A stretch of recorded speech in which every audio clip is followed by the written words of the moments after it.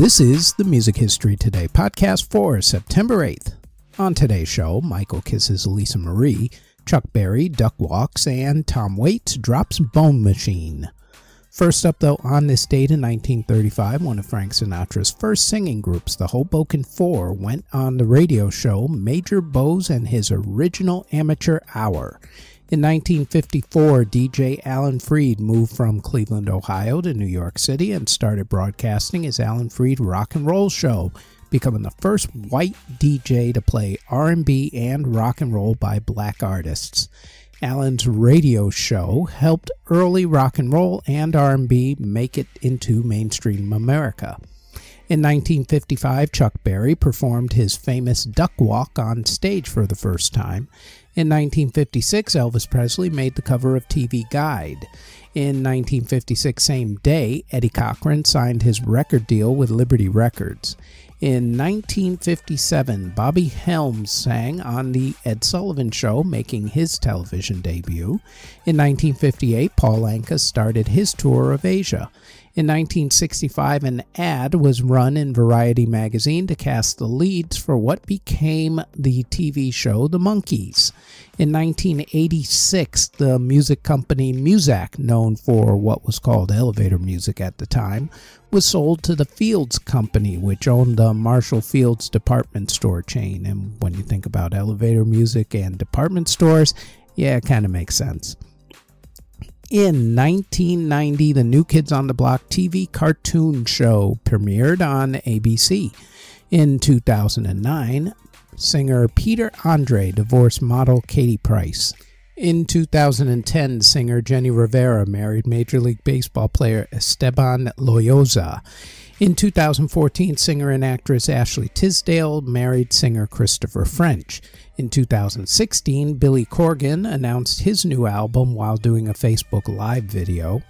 And in 2020, Travis Scott became the second celebrity after basketball icon Michael Jordan to appear on the menu of a McDonald's fast food menu when McDonald's announced the Travis Scott meal.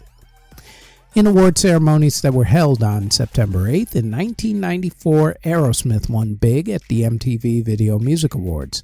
No one remembers that because that was the ceremony that Michael Jackson opened up the show by going out on stage with Lisa Marie Presley and kissing her. Rather awkwardly, actually. And in 2007, Lynyrd Skynyrd were inducted into the Georgia Music Hall of Fame. Albums that were released on September 8th include in 1958 when Gene Vincent released a Gene Vincent record date. In 1970, the Jackson 5 released their third album, and Martha Reeves and the Vandellas released Natural Resources. In 1971, LaBelle released their self titled album. In 1972, Mott the Hoople released the classic All the Young Dudes. In 1976, Hall & Oates released Bigger Than the Both of Us. Bunny Wailer released Black Heart Man. In 1978, David Bowie released Stage, Dave Edmunds released Tracks on Wax 4, and Styx released Pieces of 8. In 1980, Kate Bush released Never Forever. In 1981, The Cure released Happily Ever After. In 1982, Peter Gabriel released Security. In 1986, the Human League released Crash and the B 52s released Bouncing Off the Satellites. In 1987, Mr. Mister released Go On, Pink Floyd released A Momentary Lapse of Reason, and Rush released Hold Your Fire. In 1988, Bad Religion released Suffer, and Sam Phillips released The Indescribable Wow. In 1992, Screaming Trees released Sweet Oblivion, and Tom Waits released his iconic album Bone Machine. In 1996, Marilyn Manson released Antichrist Superstar. In 1997, The Crystal Method released Vegas. And on that same day, Cornershop released the album When I Was Born for the Seventh Time. In 1998, Blonde Redhead released in an expression of the inexpressible. Also on that same day, The Church released Hologram of Baal, and Hole released their popular album Celebrity Skin. In 1999, Tristania released Beyond the Veil. In 2003, Iron Maiden released Dance of Death. In 2006, Justin Timberlake released Future Sex Love Sounds. In 2009, Phish did a twofer. They released Joy and Party Time. Also in 2009, Washed Out released their EP Life of Leisure. In 2014, Queen released Queen Live at the Rainbow 1974, and in 2017, Neil Young released the album Hitchhiker, which was actually recorded in the 1960s but finally released decades later. Singles that were released in the UK on September 8th include in 1967 when the Box Tops released The Letter and Martha Reeves and the Vandellas released Love Bug Leave My Heart Alone. In 1972, Bread released The Guitar Man, and in 1978, the Buzzcocks released Ever Fallen in Love with Someone You Shouldn't Have. Meanwhile, in America, in 1956, Elvis Presley didn't just do a twofer or a threefer or a fourfer or a fivefer or a sixfer. He released a seven fur, the first seven fur of this podcast. He released Money Honey, Just Because, Blue Suede Shoes, Lawdy Miss Clawdy, Trying to Get to You, Blue Moon, and Shake, Rattle, and Roll. All seven, all on the same day. In 1957, Jackie Wilson released Reet Petite. In 1972, T Rex released Children of the Revolution. In 1978, Foreigner released Double Vision. In 1983, Madonna released Lucky Star. In 1987, Richard Marx released Should Have Known Better. In 2001, Kylie Minogue released Can't Get You Out of My Head, and no one could get that song out of their head after it was released. In 2014, Nick Jonas released Jealous. And in 2017, Zayn Malik released Dust Until Dawn. And Sam Smith released Too Good at Goodbyes. Before we go any further, we'd like to tell you that there is now a Music History in Depth podcast where we go more in depth on a few of the events that happen in music history for that particular week.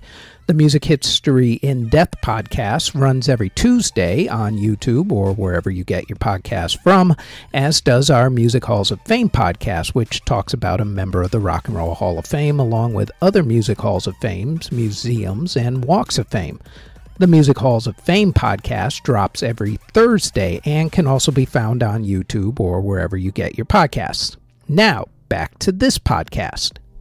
Artists who were born on September 8th include DJ and producer and remixer Avicii, Alecia Beth Moore, aka Pink, rapper Wiz Khalifa, DJ Big Boy, country music singer Jimmie Rodgers, country music legend Patsy Cline, Aimee Mann of Till Tuesday, Pigpen McKernan of The Grateful Dead, classical music composer Antonin Dvorak, Peter Davies of Prolation, rapper Slim Thug, David Lewis of Atlantic Starr, Benjamin Orr of The Cars, Dean Daughtry of Atlanta Rhythm Section, Kelly Groucutt of ELO, or Electric Light Orchestra, if you will. Entertainer Harry Secombe, Brian Cole of The Association, Mick Brown of Dokken, singer Lenny Kim, singer Benicio Bryant, singer Mackie Empuerto, singer Eric Hutchinson, producer Michael Lardie of Great White, bassist Will Lee of Paul Shaffer and the world's most dangerous band, David Steele of Fine Young Cannibals, Kathy Jean Giordano of Kathy Jean and the Roommates, country music singer Bill Parsons, singer Asha Bhosle, country music singer songwriter Neko Case of the New Pornographers, drummer Richard Hughes of Keane, Brendan Kelly of the Lawrence Arms, singer Dante Drowty of Dante and the Evergreens, Cajun music singer songwriter Zachary Richard, trumpet and flugelhorn player Steve Waterman, singer Mark Gordon of the group Levert, guitarist Shunsuke Kikuta, who played with Junior Wells, singer Leah LaBelle of American Idol fame, folk singer Peter Bellamy of the Young Tradition, trumpet player Gracie Cole of the group Ivy Benson, bassist Wilbur Ware, multi instrumentalist Alfio Grasso, and lyricist Howard Dietz. Artists who unfortunately passed away on September 8th include composer Robert Fludd, who passed away in 1637 at the age of 63. Music publisher John Aitken passed away in 1831 at the age of 86. Composer Pietro Rovelli passed away in 1838 at the age of 45. Composer and resistance fighter during World War II, Jan van Gilse passed away during World War II in 1944 at the age of 63. Composer Richard Strauss passed away in 1949 at the age of 85. Bassist Oscar Pettiford passed away in 1960 at the age of 37. Composer Rene Bernier passed away in 1984 at the age of 79. The founder of the Philharmonic Orchestra of Lisbon, composer Manuel Cruz, passed away in 1985 at the age of 84.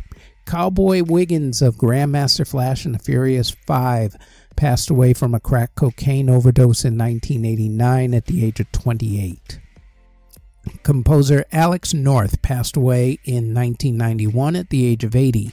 Composer and poet Moondog passed away in 1999 at the age of 83. Country music singer Charlie Walker passed away in 2008 at the age of 81. Singer songwriter Rich Cronin of the group LFO, or Light Funky Ones, if you will, passed away from cancer in 2010 at the age of 36. Saxophonist Hadley Caliman passed away in 2010 at the age of 78. Trumpet player Gerald Wilson passed away in 2014 at the age of 96. Opera singer Magda Olivero passed away in 2014 at the age of 104. Jamaican music producer Prince Buster passed away in 2016 at the age of 78 opera singer Johan Botha passed away in 2016 at the age of 51. Country music singer Don Williams passed away in 2017 at the age of 78. Country music singer Troy Gentry of Montgomery Gentry passed away in a helicopter accident in 2017 at the age of 78. Singer Camilo Sesto passed away in 2019 at the age of 72. And singer and synthesizer player Simeon Cox of Silver Apples passed away in 2020 at the age of 82. Next on the Music History Today podcast, it is September 9th when in 1971, John Lennon released his classic album, Imagine.